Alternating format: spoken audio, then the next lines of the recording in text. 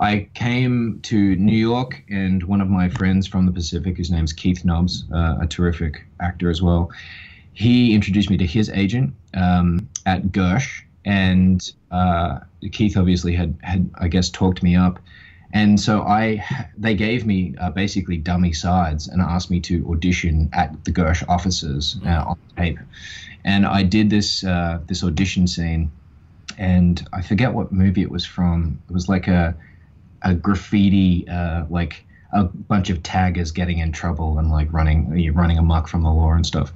Uh, and I thought I I really um, I really messed it up. I did a terrible job, and uh, and I got the feedback that you're not quite ready, but maybe soon. And then it was the I think the next I think a year later or something I came over and I was too shy to go back in for Gersh because I was I just thought I'd I'd messed it up so badly mm-hmm. the first um, but they got wind of the fact that I was back, and they asked me to do it again, and uh, and I I did another scene for them, and um, yeah, and then they, they called me and offered to represent me, and and I was like, okay, that's uh, uh, amazing, and I've had the same agent um, ever since.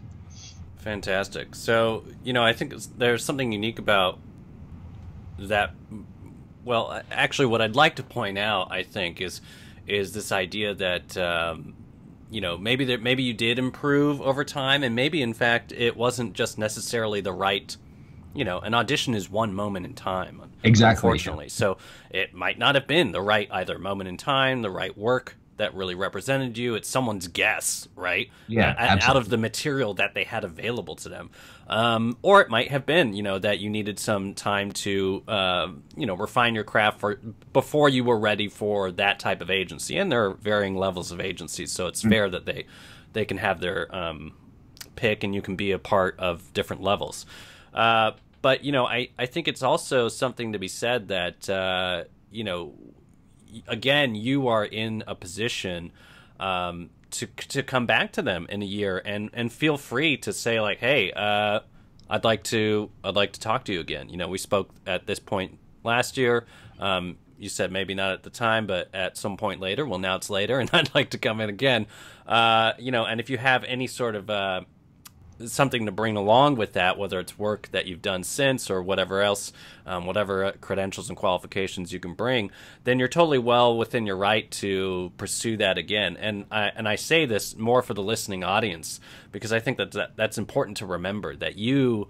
Uh, you know, no one cares about your career as much as you do. So you are the CEO of this. You uh, do decide what's next. And if someone says, "Yeah, um, maybe not now, but you know, in the next few months, reach out," then you should. Uh, maybe not now, but you know, a year from now or so, um, you know, we can talk again about some sort of business relationship.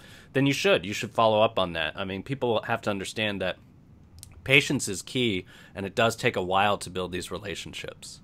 Definitely, yeah. follow up is, is most important. yes, follow up is is definitely important. That's a that's an excellent point. In fact,